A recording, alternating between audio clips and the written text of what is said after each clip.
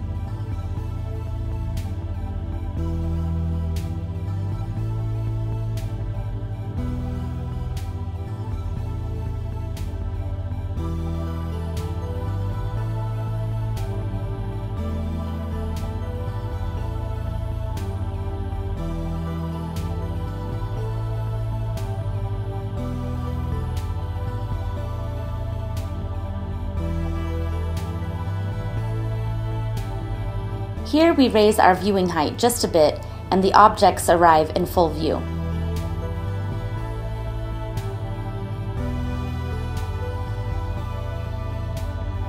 Raising up again.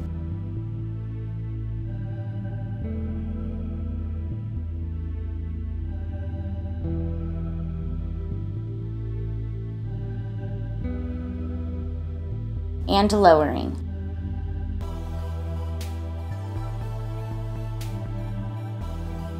Now we close the patio door, and when the air evens out, the objects arrive to the viewer in full.